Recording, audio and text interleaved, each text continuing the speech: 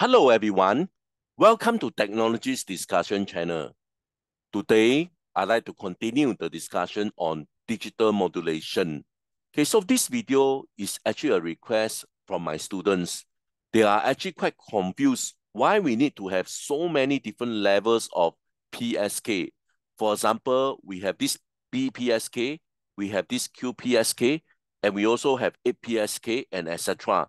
The student don't understand okay, why we need to have so many different levels of PSK and they are actually extremely confused about this. So this will be the objective of this video. I'm going to explain what will be the motivation why we need to move from BPSK to QPSK and then to 8PSK. So this will be the objective of this video.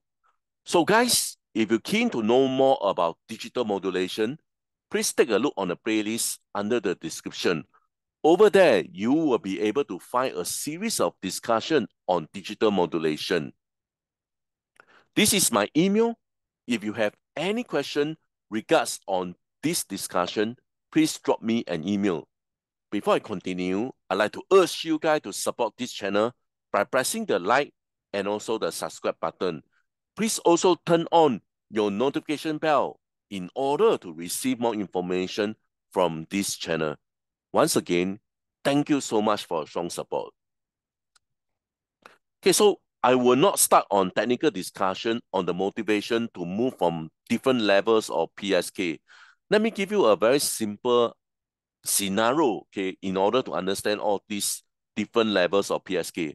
Okay, for example, you are tasked to move the book from the left all the way to the right, okay? So what you can see over here, you can see that on the left, there are lots of book.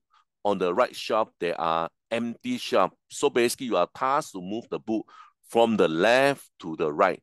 So when you actually doing this, you can imagine that you are actually doing some form of data transfer. You are doing data transfer from the left to the right. So basically, this is what I meant. Okay, so basically, your boss asks you, okay, transfer all the book on your left all the way to the right.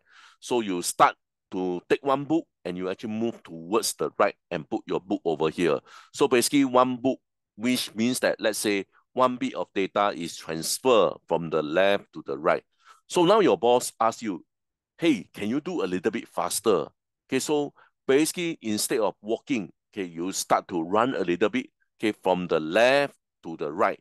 So basically the data transfer speed actually increase because instead of walking, you actually do some form of running, okay? And therefore, the data transfer speed actually increase. However, your boss is still not so pleased. Okay, so basically he asks you, can you do even faster? Okay, so basically now instead of running, you actually spring, okay, from the left to the right. Okay, so when you actually spring, okay, your speed actually increase, okay, which means that your data transfer speed also increase. Okay, so basically this will be the limit because you actually use your best effort okay, to spring from the left to the right. However, your boss is still not so pleased. Okay, he still insists you to deliver the book faster in order to have the best throughput. So therefore, you run out of idea. So you think of another idea now. So instead of taking one book, you actually take two books and you start to move from the left to the right.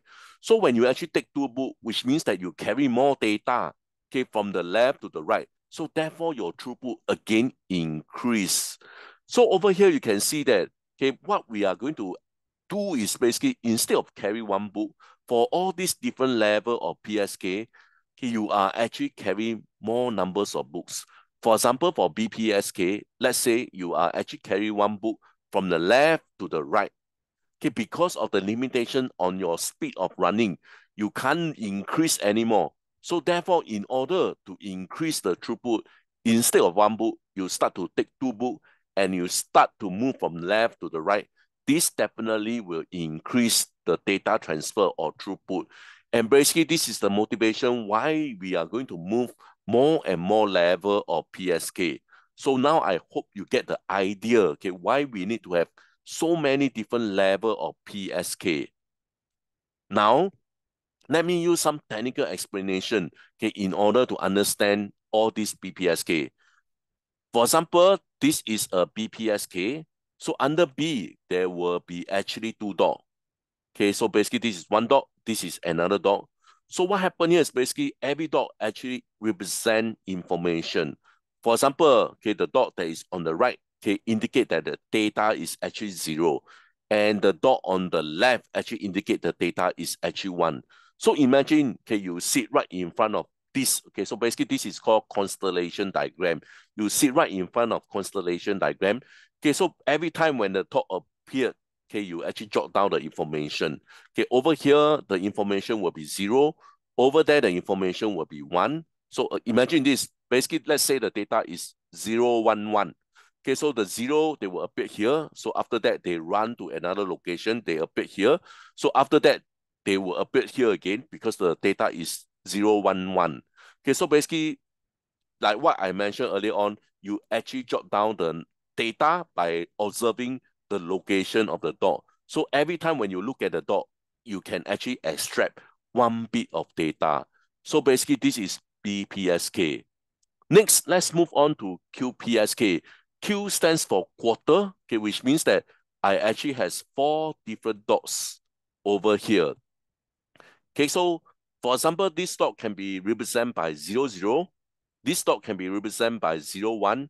This dot can be represented by 1, 0 this dot can be represented by 1, 1, for example. Okay, again, you are sitting right in front of this constellation diagram. So now, okay, the dot will be appear at either one of these four locations. Okay, so for example, if they appear here, then you will extract the data. Okay, so earlier on, I can actually extract only one bit of data, which is zero. But now, okay, at the same location, instead of just one bit of data, which is zero, I actually accept the data zero, zero. Okay, so let's say the dot run over here. Okay, so basically I know that the data will be zero, one. So from here, you can see that under QPSK, every glance of the location of the dot, I actually extract two bits of data. Definitely, you can imagine that QPSK will have a better throughput because at BPSK, one dot location, I can only extract one bit of data. While at QPSK, the same dot, okay, however, I can retrieve two bits of data. So now with this, you can imagine the motivation why we need to move the QPSK to 8PSK. So now instead of every location, okay, basically instead of two bits, you actually get three bits of data. This definitely increase the throughput. I guess you understand what I want to say. So basically, at every location of the dog, instead of two bits now, I actually extract three bits of data. Again, I don't foresee any difficulty. Okay, understand why we need to move from 8 PSK to 16 PSK. The motivation is to increase the throughput. However, okay, we can't increase on, on and on and on. Over here, you, you probably can see that I actually somehow reach the limitation of 32 PSK. Okay, so at 32 PSK, okay, every location of the dog, I actually can extract five bits of data. Can you see over here? So you can see that basically this will be the limitation. Okay, technically this will be the limitation. Okay, but in the reality world, we definitely can put in more numbers of dogs. But you can see the challenge that I'm facing now. I have big issue to put so many dots into this constellation diagram. So now let me explain to you, okay, what will be the disadvantage to have so many dots. But before that, I just want to do a very quick summarize how or what is the motivation that we move from BQP 16 and 32 PSK. The motivation is simply to increase the number of throughput.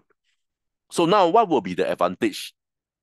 Okay, I just want to use BPSK and QPSK okay, to explain the real disadvantage of putting so many dots.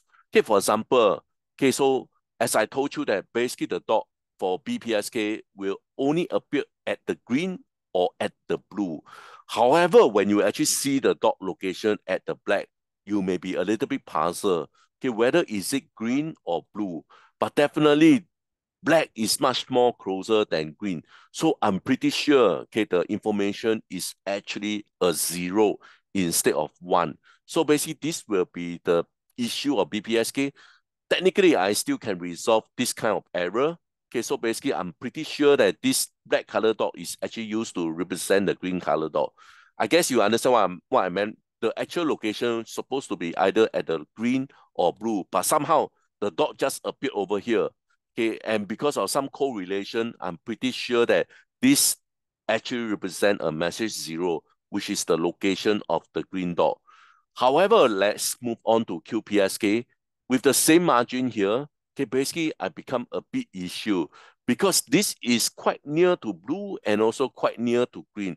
I may have difficulty to decide okay, whether is it at the location of the blue dot or at the location of green dot. So basically, in short, the more points that you're going to put onto PSK, okay, you can foresee that I cannot tolerate the error. A little bit of error, I may run to another location of the dot. So basically, we can't increase the numbers of dot. Basically, we can also do other forms of modulation, which I'm going to explain in this few series of discussion. With this, I'd like to end my discussion. Please help to like and subscribe. Once again, thank you so much for your strong support. I hope to see you guys soon. Bye for now. Thank you so much.